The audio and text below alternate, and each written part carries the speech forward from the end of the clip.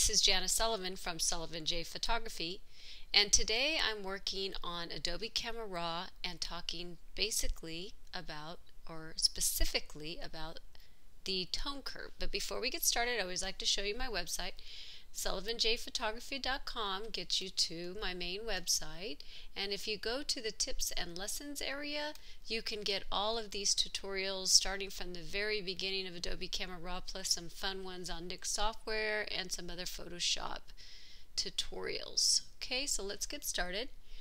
Here is an image that I shot over in uh, Arizona. It's the painted desert. It was not the golden hour. It was not a perfect storm. It was very bland, but it was a great day, and I wanted to make sure that I remember this. And of course, I just can't have an image like this. So I ended up doing uh, three uh, images, verticals, and I stitched them together. And I'm going to process them, process them in Adobe Camera Raw. So this is actually the third video. And if you haven't seen the others, then definitely check out my blog. And you can start from the beginning of opening and to the basics. And now we're here in the tone curve. So what is a tone curve? Tone is the range of lights, lights to darks. Okay, and this is this is also a histogram up here, and the histogram tells you the information that talks or the information within this image right here. So these are the brightest areas of my image, these are the midtones of my image, and these are the darks of the shadows of my image. Now as you can see this image is light and you can see where it's larger, the histogram is higher up in here because this is where I have the more, more of the information on the highlight area. So this is where you're going to change everything up if you want to.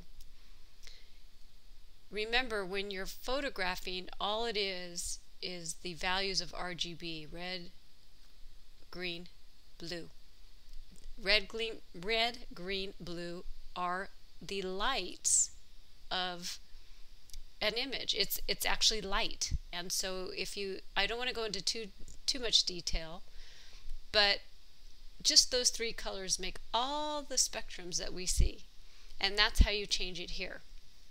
Okay, uh, well one of the ways I guess.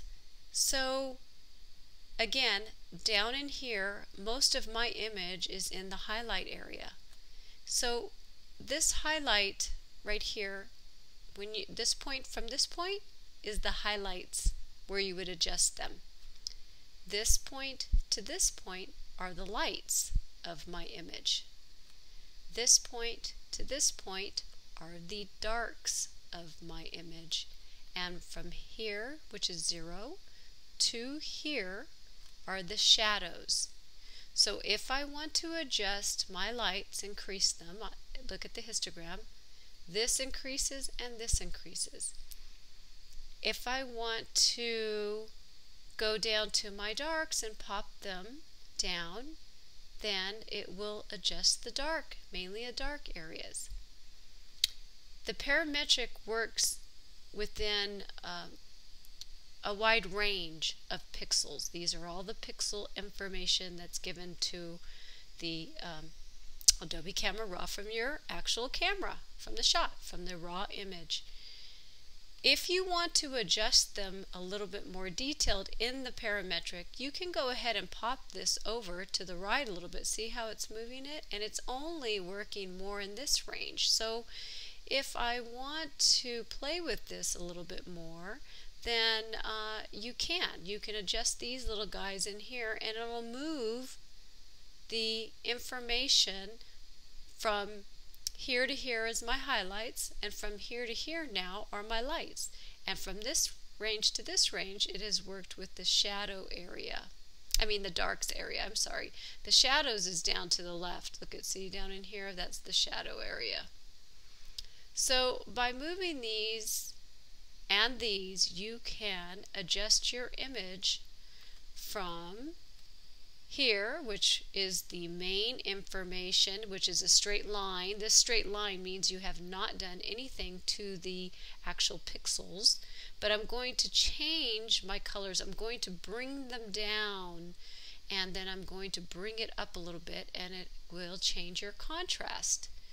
And the contrast is actually the lights and the darks and how it changes your colors and makes it pops a little bit more by changing those lights and darks and uh, making them it may you know right here in the blue areas you can see that I've darkened that area.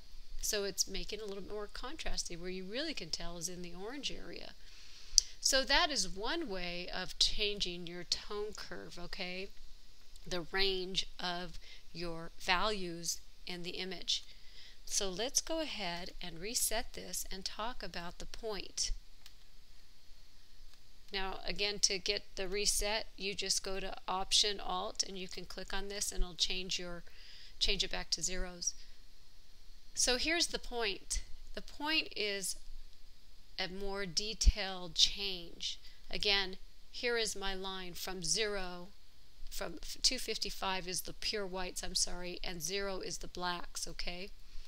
But this is all these numbers in here is giving me the range of the information that's in my uh, image. So right in here you can see that these are the dark areas. This is the black areas. But before I get into more details, but let's show you some of the presets. They've already done a medium contrast and a strong contrast that, that you know they've already done it for you and they'll move it around by the information that they've done here so you could tell that it's already changing up the contrast a little bit here and this is done through the RGB channel, red, green, blue. Let's go back to linear. And let's just show you quickly down here these are the reds of the um, image. And uh, you could play with these in a little just a little bit more detail but I want to get through this video quickly. You can see as I change this going up it adds some more red and decreases the red um, as you play with these. And you can also do the green and the blue the same way okay? So you can get into more details of where you want to change your blues. Do you want to change them only in the dark areas? Or you know that you know you want to say you want to decrease your blues or you want to increase your blues. You can also change you know your tone that way okay? So that's another way. But uh, to really get into detail um, what another good tool to have to pay attention to is if you click on the command and the command apple, this gives you a little pointer. And look on, oh, let's go back to the RGB so you can see it better. So here are again the lights to the darks. So if I have the pointer here, you could see to the right, as I move it, it changes and it's telling me each location of where the uh, highlight is or the tone is. So if I want to click on, push down on that, that right there has given me a point of the exact pixel information of my uh, of where I push down. So that is the light area. So let's go down to the shadows. If I click down in here, as you can see to the right, look at the histogram, it's giving me the information there. So there's my darks. I just made a point. So if I want to get in the mid-range, you know, then click on there. So you can then you can always get to it. You see the little X, and then you can make your changes if you want. You want to do the typical S curves, but of course you could go into more details with this. This is really a powerful tool.